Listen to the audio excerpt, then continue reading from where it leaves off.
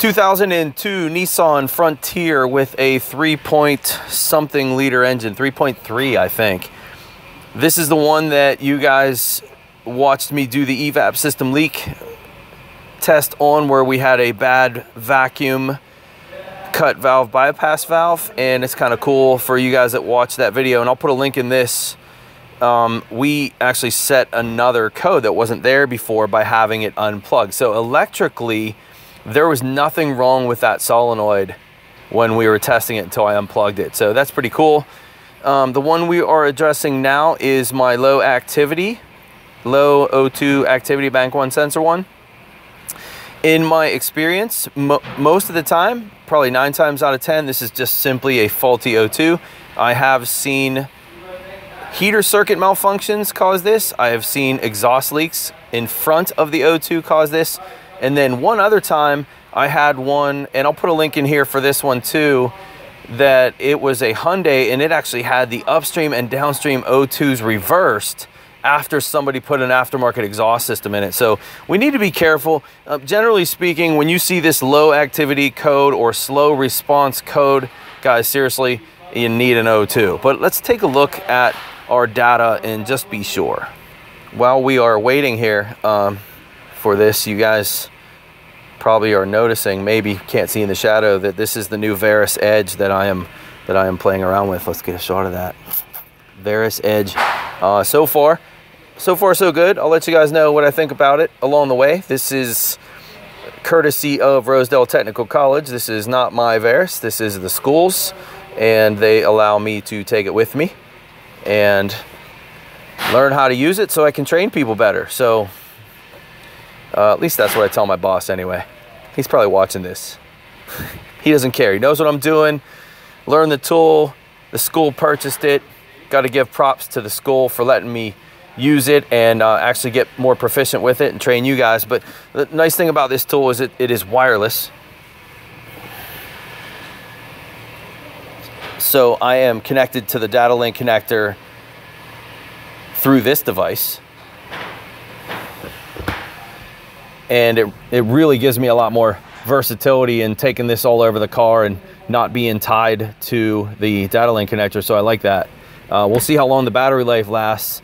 Uh, in a mobile situation for me it might be a problem actually that I can't connect to the car because the older Verus if my battery was dead I would just connect it to the data link connector and I would uh, be able to power it up that way so not the case here, man. I got to make sure I'm charged up and ready to go on this mobile stuff.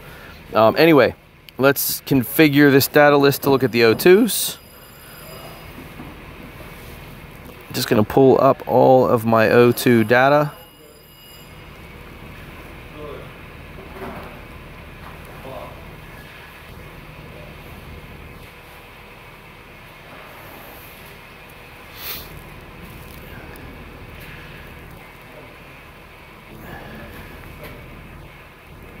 Bank two. This is listed weird. Okay, so uh, bank one, sensor one, it's opposite of what is typically there. This is bank two, sensor one. It looks like bank one, sensor two. It's downstream, it's not. Um, but there's your two upstream O2s. And what we can see right away is, I'm just sitting here idling too, how less frequent the signal is on the bank one, sensor one um, we should have a lot faster signal. It should look a lot more like Bank 2. There are specs that we follow. One to five hertz roughly. That's one to five cycles per second we want to see. And we also sorry we also want to see a min max voltage of around 0.2 to 0.8 at least. And uh, those numbers look a little weak here too on this bank one. I'm going to hold the rpm up a little bit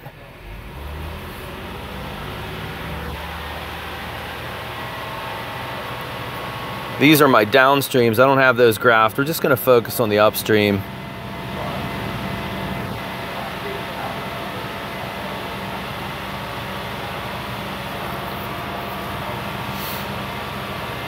So the way we can verify the heater circuit with this, let, let's say this was a heater circuit malfunction. With my RPM being high, what I'm doing now is I'm using exhaust gas to heat these sensors And um, if it was a heater problem on bank one, what we would start to see is this one would come to life more and start looking more like the bank two. You see how fast the signal is. Keep in mind as you're looking at this, guys, that these are frames at the bottom, not time. This is not a scope, this is scan data. So it's, it's voltage to the left over frame, not voltage over time like a scope is. Uh, this is just simply a bad bank one oxygen sensor. There is no reason for me to do any other checks to this. Again, if it was a heater circuit malfunction, holding this RPM right now at 2500 would heat it up and it would start functioning normally. Not the case. I'm not going to do any underhood testing for this. I am going to be a parts changer and tell him to put a Bank One Sensor One oxygen sensor in this.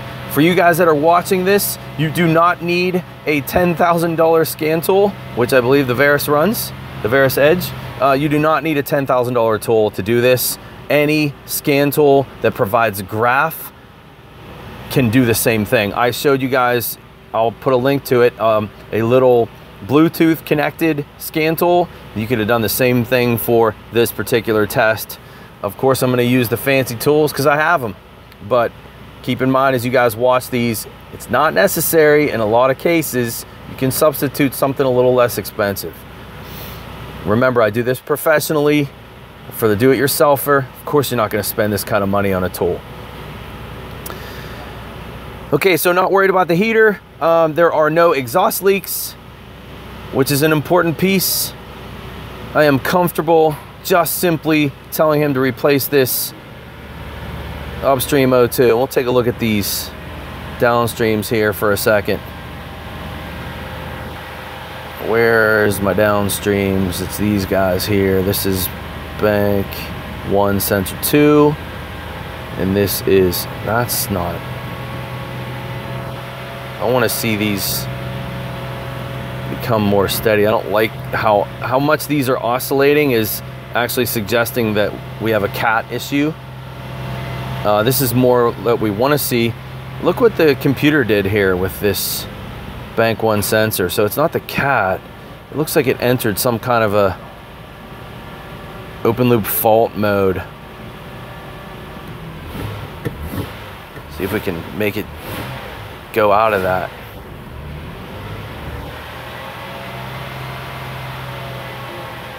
Some mileage on this 117,000 this didn't have cat codes but I definitely don't like these cats.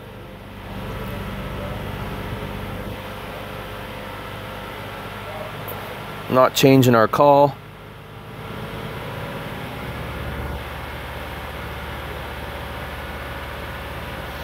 We'll select them all. I'm just looking for a loop status here. Oh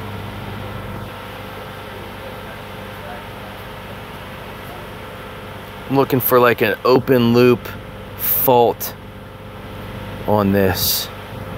I believe that's what just happened. Let me go to the other data list. That's why that O2 just fixed on us and went lean. Or not lean, uh, lean upstream, rich downstream. Uh, what do we got? What do we got?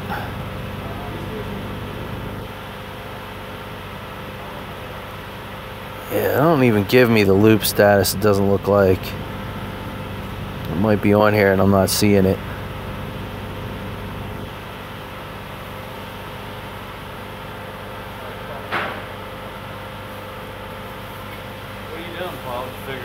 Yeah, you need an O2 sensor for bank one. Yeah. yeah. I'm almost. One sensor one. Bank one sensor one, yeah. Uh, I'm not sure. Bank one. Bank one, sensor one is that one. Yeah, bank two, sensor one is this one.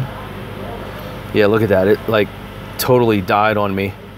Voltage is uh, 0.12 to 0.41. If you guys would see something like this, one of the ways or one of the problems can be um, wiring when you see this and it can also be mixture problems. One of the things I like to do is do rapid snaps of the throttle. We should be able to drive it rich and lean. You see up in here, I'm over um, 800 millivolts. That's about 860. And uh, over here, I only hit a half a volt. So again, dead oxygen sensor.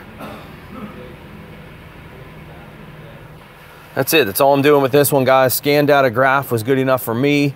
You guys watched this sensor pretty much just die is what happened with bank one.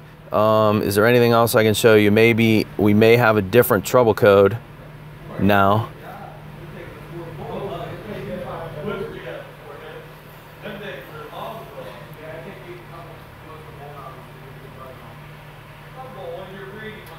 Ah, this low activity code.